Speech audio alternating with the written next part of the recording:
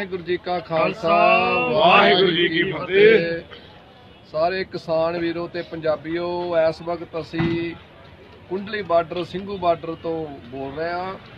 ਸਾਡਾ ਇਸ ਵੇਲੇ ਜਿਹੜਾ ਵੀਡੀਓ ਲਾਈਵ ਕਰਨ ਦਾ ਮਕਸਦ ਇੱਕ ਹੈ ਕਿ ਸਾਨੂੰ ਪੰਜਾਬ ਦੇ ਵਿੱਚੋਂ ਬਹੁਤ ਸਾਰੇ ਫੋਨ ਆ ਰਹੇ ਨੇ ਕਿ ਰਾਤ ਨੂੰ ਫੌਜ ਦੀ ਕਾਰਵਾਈ ਹੋਣ ਜਾ ਰਹੀ ਆ ਇਹ ਬਹੁਤ ਸਖਤੀ ਹੋਣ ਜਾ ਰਹੀ ਆ। ਰਾਤ ਨੂੰ ਕਈ ਤਰ੍ਹਾਂ ਦੀਆਂ ਫਵਾਵਾਂ ਫਲਾਈਆਂ ਜਾ ਰਹੀਆਂ ਪੰਜਾਬ ਵਿੱਚ।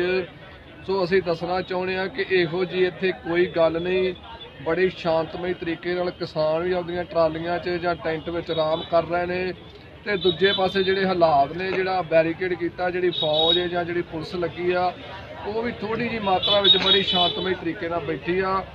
ਸੋ ਸਾਰੇ ਪੰਜਾਬ ਦੇ ਪੰਜਾਬੀ ਭਰਾਵਾਂ ਨੂੰ ਬੇਨਤੀ ਆ ਕਿ ਇਹੋ ਜਿਹੀ ਫਵਾਹ ਤੋਂ ਘਬਰਾਉਣ ਦੀ ਲੋੜ ਨਹੀਂ, ਇੱਥੇ ਕੋਈ ਵੀ ਇਹੋ ਜਿਹੀ ਗੱਲ ਨਹੀਂ ਹੈਗੀ ਜੀ। ਸੋ ਸਾਰਿਆਂ ਨੂੰ ਬੇਚਿੰਤਕ ਹੋ ਕੇ ਜਿਹੜਾ ਮੋਰਚੇ ਦਾ ਵੱਧ ਤੋਂ ਵੱਧ ਸਾਥ ਵੀ ਦੇਣਾ ਚਾਹੀਦਾ।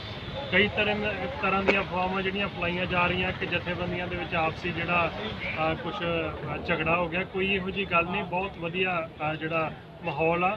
ਸੋ ਸਾਰਿਆਂ ਨੂੰ ਵੱਧ ਤੋਂ ਵੱਧ ਇਸ ਸੰਘਰਸ਼ ਦਾ ਜਿਹੜਾ ਸਾਥ ਦੇਣਾ ਚਾਹੀਦਾ। ਧੰਨਵਾਦ ਜੀ। ਵਾਹਿਗੁਰੂ ਜੀ ਕਾ ਖਾਲਸਾ। ਵਾਹਿਗੁਰੂ ਜੀ ਕੀ ਫਤਿਹ।